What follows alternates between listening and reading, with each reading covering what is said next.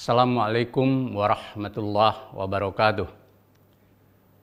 Innal hamdalillah wa nusalli wa nusallimu ala Muhammadi Rasulillah wa ala alihi wa sahbihi wa mawala. Salam sejahtera untuk kita semua. Keluarga besar Muhammadiyah dan saudara sebangsa dan setanah air pada hari ini, 30 Agustus 2021, saya akan menyampaikan tausiah kebangsaan. Dalam acara pidato kebangsaan yang diselenggarakan oleh Universitas Muhammadiyah Malang, bekerja sama dengan sejumlah perguruan tinggi Muhammadiyah dan para pihak yang diselenggarakan untuk memperingati dan merayakan 76 tahun Indonesia merdeka. Judul tausiah kebangsaan ini saya beri diksi tagar Indonesia Jalan Tengah, Indonesia milik bersama diksi yang dipakai menggunakan narasi hashtag atau tagar dalam literasi media sosial. Harapan utamanya agar sebanyak mungkin para elit dan warga bangsa dapat menjadikan kedua isu penting tersebut sebagai masalah bersama untuk menjadi rujukan bersama. Saudara sebangsa, ketika bangsa Indonesia memperingati 76 tahun kemerdekaan, di tubuh negeri ini masih terdapat sejumlah masalah kebangsaan. Antara lain, suasana keterbelahan sesama anak bangsa, masalah radikalisme, ekstremisme yang pro kontra dalam ragam pandangan dan penyikapan, masalah korupsi dan penanganan terhadap koruptor yang dianggap memanjakan, politik demokrasi transaksional, kesenjangan sosial, menguatnya oligarki politik dan ekonomi, kehadiran media sosial yang memproduksi persoalan-persoalan baru, masalah utang luar negeri dan investasi asing, serta kehidupan kebangsaan yang cenderung makin bebas dan liberal setelah dua dasawarsa reformasi. Secara khusus, tentu masalah pandemi COVID-19 dengan segala dampaknya yang menambah masalah kebangsaan semakin berat. Narasi atas masalah-masalah bangsa tersebut tentu tidak mengurangi apresiasi kami atas kemajuan-kemajuan yang telah dicapai dalam kehidupan kebangsaan dari periode ke periode. Ketika menghadapi masalah-masalah besar tersebut, maupun dalam menilai capaian kemajuan, berkembang keragaman pandangan dan orientasi sikap sesuai dengan sudut pandang dan posisi setiap pihak di negeri ini. Pada situasi yang krusial inilah, maka diperlukan refleksi semua pihak bagaimana mengelola perbedaan-perbedaan itu untuk ditemukan titik temu dalam spirit persatuan Indonesia demi keutuhan dan kelangsungan hidup Indonesia. Saudara sebangsa dan setanah air, kemerdekaan yang melahirkan negara Republik Indonesia saat ini berdiri tegak di atas fondasi kokoh Pancasila. Soekarno memposisikan Pancasila sebagai filosofis Grundslag atau Weltanschauung, yakni sebagai fundamen, filsafat, pikiran yang sedalam-dalamnya, jiwa, hasrat yang sedalam-dalamnya untuk di atasnya didirikan gedung Indonesia Merdeka yang kekal dan abadi. Pancasila yang perumusannya mengalami proses dinamis sejak pidato 1 Juni 45, Piagam Jakarta 22 Juni 45, dan rumusan final 18 Agustus 1945 merupakan konsensus nasional dari seluruh golongan kebangsaan Indonesia yang berlatar belakang majemuk menjadi bineka tunggal ika. Menurut sejarawan Purnaival, bangsa Majemuk pada dasarnya non-komplementer, laksana air dan minyak. Tetapi Alhamdulillah, bangsa Indonesia yang majemuk itu dapat bersatu karena ada nilai yang disepakati bersama dan mempersatukan, yaitu Pancasila konsensus seluruh komponen bangsa untuk menerima Pancasila sebagai dasar negara dihasilkan dari jiwa kenegarawanan para pendiri negara. Peran krusial Ki Bagus Hadikusumo selaku Ketua PP Muhammadiyah saat itu bersama tokoh Islam dan tokoh nasional lainnya dalam konsensus yang bersejarah sangatlah besar dengan kesediaan melepas tujuh kata pada piagam Jakarta yang dikonversi menjadi sila pertama ketuhanan yang Maha Esa. Menurut Menteri Agama Alam Sahratu Perwira Negara, itulah hadiah terbesar dari umat Islam untuk Indonesia. Muhammadiyah memandang konsensus Pancasila dan berdirinya negara Indonesia yang bersejarah itu sebagai negara Pancasila Darul Ahdi Wasyahada. Pancasila sebagai titik temu dari kemajuan dan kemajemukan terjadi selain atas jiwa kenegarawanan para tokoh bangsa melalui proses musyawarah mufakat secara substansial di dalamnya terkandung ideologi tengahan atau moderat ketika Soekarno menawarkan lima sila dari Pancasila dalam sidang BPU PKI tergambar kuat pemikiran moderat atau jalan tengah dari dasar negara tersebut. Mengenai nasionalisme atau kebangsaan, Soekarno menegaskan kita mendirikan satu negara kebangsaan Indonesia di atas dasar kebangsaan. Tetapi disadari pula bahaya nasionalisme.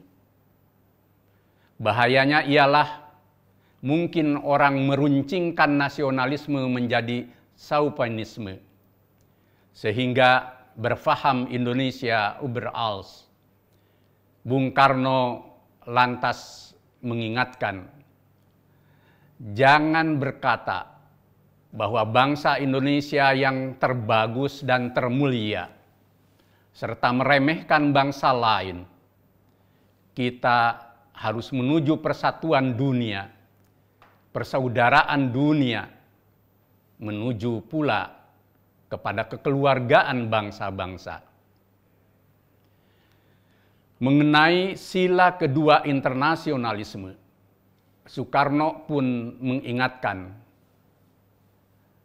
tetapi jikalau saya katakan internasionalisme, kata Bung Karno, bukanlah saya bermaksud kosmopolitanisme yang tidak mau adanya kebangsaan, yang mengatakan tidak ada Indonesia, tidak ada Nihong, tidak ada Birma, tidak ada Inggris, tidak ada Amerika dan lain-lainnya. Internasionalisme tidak dapat hidup subur kalau tidak berakar di dalam buminya nasionalisme. Nasionalisme tidak dapat hidup subur kalau tidak dalam taman sarinya internasionalisme. Tentang sila mufakat atau kerakyatan, Soekarno menyatakan, negara Indonesia bukan satu negara untuk satu orang, bukan satu negara untuk satu golongan, walaupun golongan kaya, tetapi kita mendirikan negara semua buat semua. Satu buat semua. Semua buat satu. Saya yakin, kata Soekarno, syarat yang mutlak untuk kuatnya negara Indonesia ialah permusyawaratan perwakilan. Menurut Bung Karno, kalau kita mencari demokrasi, hendaknya bukan demokrasi barat, tetapi permusyawaratan yang memberi hidup, yakni politik ekonomis demokrasi yang mampu mendatangkan kesejahteraan sosial. Demikian halnya tentang sila kesejahteraan atau kesejahteraan sosial. Prinsipnya, tidak ada kemiskinan di dalam Indonesia merdeka. Soekarno bertanya secara retorik, apakah kita mau Indonesia merdeka? Yang kaum kapitalnya merajalela, ataukah yang semua rakyatnya sejahtera, yang semua orang cukup makan, cukup pakaian, hidup dalam kesejahteraan, merasa dipangku oleh ibu pertiwi yang cukup memberi sandang pangan kepadanya? Mana yang kita pilih? Itulah pertanyaan Soekarno. Jangan saudara kita, bahwa kalau badan perwakilan rakyat sudah ada, katanya, kita dengan sendirinya sudah mencapai kesejahteraan ini. Kita sudah lihat di negara-negara Eropa adalah badan perwakilan, tetapi tidakkah di Eropa justru kaum kapitalis yang merajalela? Mengenai sila ketuhanan, Soekarno dengan tegas menyatakan, menyusun Indonesia merdeka dengan bertakwa kepada Tuhan yang Maha Esa. Prinsip ketuhanan. Bukan saja bangsa Indonesia bertuhan, tetapi masing-masing orang Indonesia hendaknya bertuhan Tuhannya sendiri. Dan kata Bung Karno, hendaknya negara Indonesia satu negara yang bertuhan. Pemikiran Soekarno tentang Pancasila itu maupun juga pemikiran-pemikiran tokoh bangsa yang lain sangatlah moderat. Karenanya Pancasila maupun negara Republik Indonesia jangan ditarik ke kanan dan ke kiri, tetapi letakkanlah di posisi tengah agar tetap menjadi rujukan bersama dalam kehidupan berbangsa dan bernegara.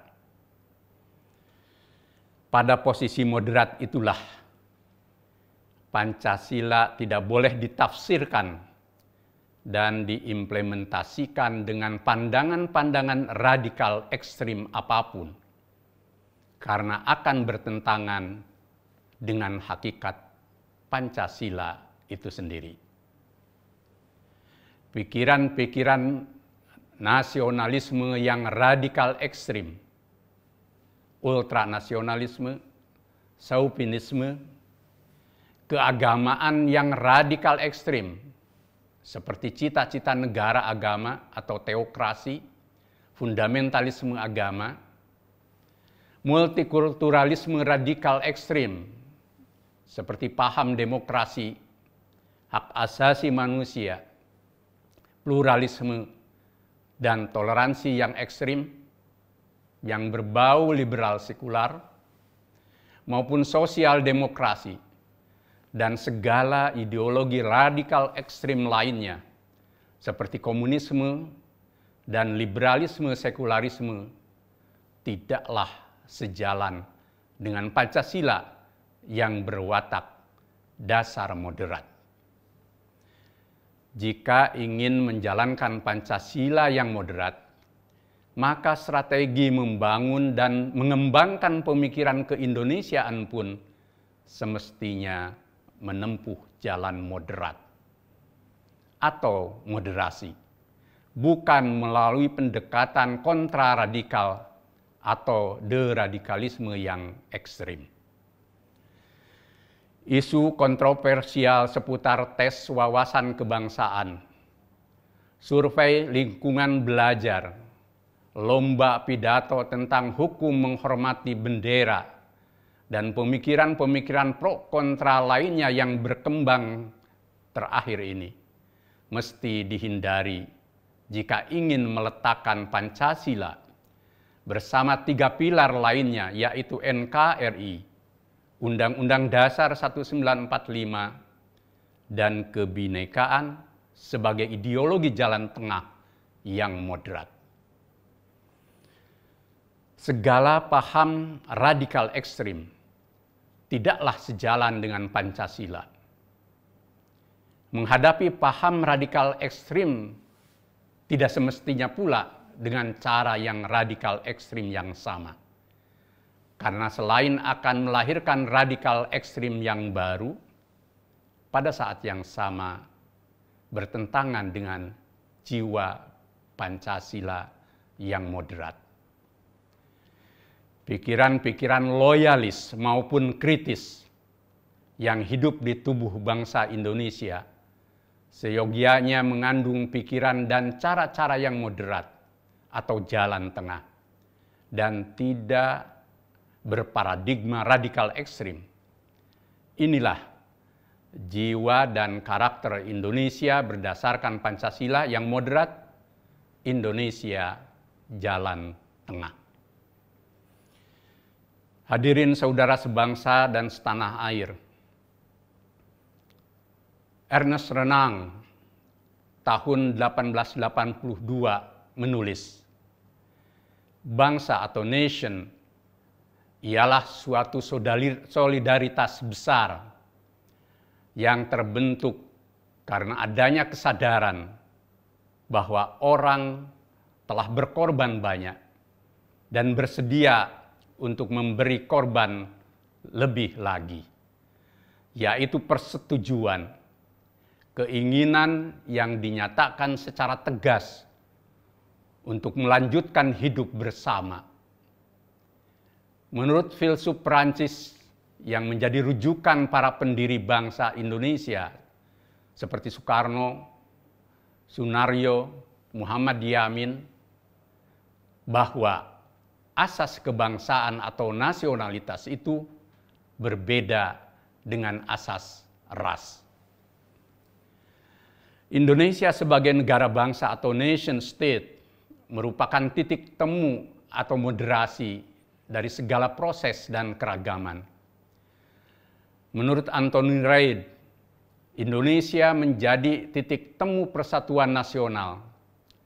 Seluruh rakyat Indonesia dari berbagai golongan sebagai era baru yang di era Nusantara berpencar dan menjadi entitas sendiri-sendiri yang tidak mengarah ke persatuan.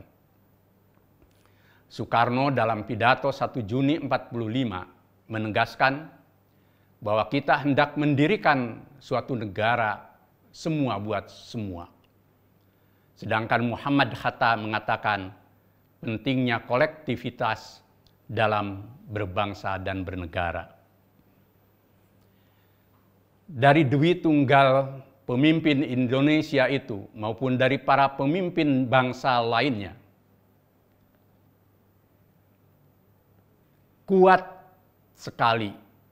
Kehendak untuk menjadikan Indonesia milik bersama seluruh rakyat Indonesia – jiwa gotong royong mendasari bangunan Indonesia dalam seluruh aspek kehidupan agar tidak ada oligarki politik, oligarki ekonomi, dan oligarki lainnya yang merusak kebersamaan dan menjadikan Indonesia hanya milik sekelompok kecil pihak.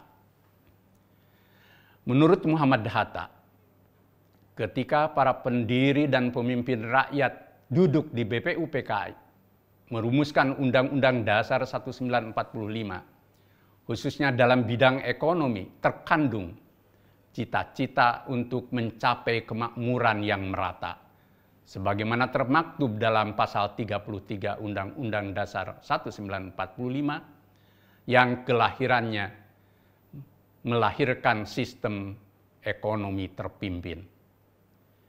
Dalam sistem ekonomi terpimpin menurut Muhammad Hatta, pemerintah harus bertindak supaya tercapai suatu penghidupan sosial yang lebih baik. Menghidup penghidupan sosial harus berdasarkan pada keadilan sosial.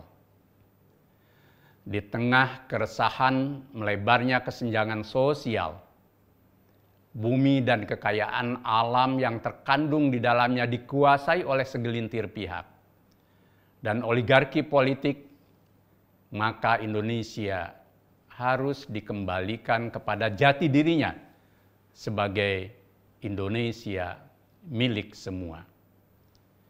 Pemerintah negara wajib hadir dalam melindungi seluruh rakyat dan tumpah darah Indonesia, serta mewujudkan keadilan sosial bagi seluruh rakyat Indonesia. Di negeri ini tidak semestinya berkembang siapa yang kuat, dia yang menang dan menguasai Indonesia Manakala hal itu terjadi, maka Indonesia dapat terpapar radikalisme ekstrim dalam bentuk lain, yang tentu saja tidak sejalan dengan Pancasila. Indonesia wajib hukumnya untuk menjadi milik bersama. Karenanya, jiwa bineka tunggal ika penting terus digelorakan di tubuh bangsa ini bukan hanya untuk menumbuhkan sikap bersaudara dalam kemajemukan SARA, tetapi juga menegakkan kebersamaan secara politik dan ekonomi agar tercipta persatuan Indonesia dan keadilan sosial bagi seluruh rakyat Indonesia. Kami percaya masih banyak anak bangsa, termasuk para pejabat negara, politisi, dan pengusaha yang berjiwa luhur untuk tercapainya Indonesia milik bersama. Saudara sebangsa dan setanah air, ketika Indonesia merayakan kemerdekaan ke-76 dengan segala masalah, tantangan, ancaman, dan peluang yang dihadapinya, marilah pemerintah dan seluruh komponen bangsa menyatukan jiwa, pikiran, dan langkah menuju terwujudnya cita-cita Indonesia merdeka yang bersatu, berdaulat, adil, dan makmur. Jalan masih panjang, dan terjal menuju Indonesia yang diidamkan itu. Keragaman pandangan dan pengelompokan tidak semestinya kita menjadi retak dan pecah belah sebagai bangsa. Di sinilah pentingnya jiwa kenegarawanan seluruh elit dan warga bangsa untuk membawa Indonesia menuju negeri idaman dalam semangat persatuan. Kami percaya masih banyak elit dan warga bangsa yang berhati luhur dan mulia, baik, jujur, dan terpercaya dalam berbangsa dan bernegara. Bila masih terdapat sebagian saudara-saudara kita yang salah dan hilaf, serta memiliki kehendak yang berlebihan dan bersifat egoisme dalam kehidupan berbangsa dan bernegara masih terbuka jalan Tuhan untuk kembali ke jalan yang terang dan tercerahkan. Kuncinya ialah ketulusan, kejujuran, dan kebersamaan dalam berbangsa dan bernegara milik semua. Luruhkan ego diri, kroni, institusi, dan golongan dengan mengedepankan kepentingan bangsa dan negara demi masa depan Indonesia yang dicita-citakan para pendiri negara. Ketika bertumbuh gagasan dan kehendak yang berkaitan dengan hajat hidup bangsa dan negara, maka berdirilah dalam posisi tengahan dan jauhi jalan ekstrim tempuhlah musyawarah mufakat, serta hindari sifat mau menang sendiri. Tumbuhkan jiwa dan alam pikiran ketuhanan, kemanusiaan, persatuan, kerakyatan, dan keadilan sosial sebagaimana terkandung dalam falsafah Pancasila yang harus diwujudkan di bumi menyata dengan keteladanan ketika kini tumbuh kembali gagasan amandemen Undang-Undang Dasar 1945. Dengan kerendahan hati, saya mengajak, seyogianya dipikirkan dengan hikmah kebijaksanaan yang berjiwa kenegarawanan yang autentik. Belajarlah dari empat kali amandemen di awal reformasi yang mengandung sejumlah kebaikan dan kemajuan, tetapi menyisakan masalah lain yang membuat Indonesia kehilangan sebagian jati dirinya yang asli.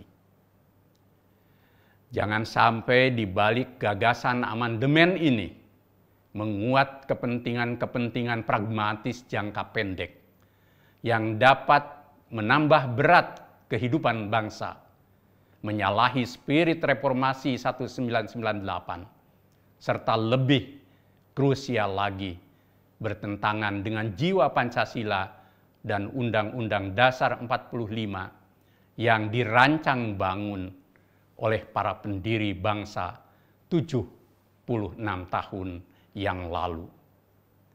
Di sinilah pentingnya hikmah kebijaksanaan para elit negeri di dalam dan di luar pemerintahan dalam membawa bahtera Indonesia menuju pantai idaman. Indonesia yang bukan sekadar ragad fisik, tetapi menurut Mr. Supomo, Indonesia yang bernyawa. Itulah Indonesia jalan tengah dan Indonesia milik bersama. Terima kasih. Nasru minallah wa qarib. Wassalamualaikum warahmatullahi wabarakatuh.